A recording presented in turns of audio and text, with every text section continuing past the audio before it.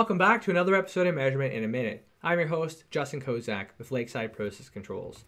Today's video, we're continuing our discussions around Rosemount Micro Motion flow meter technologies. In particular, we're picking up where we left off in the last video talking about zero verification, but we're now talking about zero calibration. So if your zero verification report said yes, you should establish a new field zero, we're going to show you how to go ahead and do that today.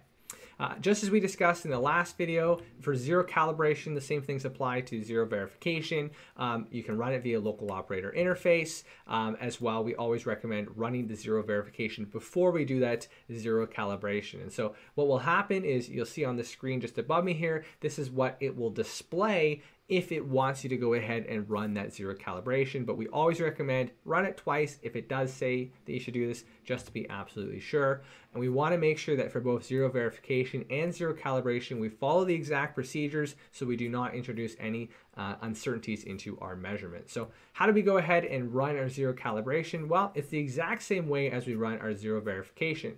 We want to make sure our flow is at the operating conditions and pressures and temperatures so that our flow meter is up to the correct temperatures. Uh, we want to do this for at least 20 minutes and then we want to isolate first on the downstream, then on the upstream, verify that no flow is traveling through this flow meter and the sensor is full of product. Uh, and those two pieces are very, very important here. Uh, and then at this point, we would just walk through either the local operator interface or via ProLink, run the zero calibration, and this will establish a new field zero. And voila, you're done. Simple as that.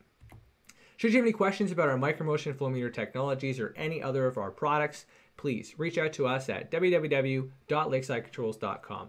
Thanks and have a great day.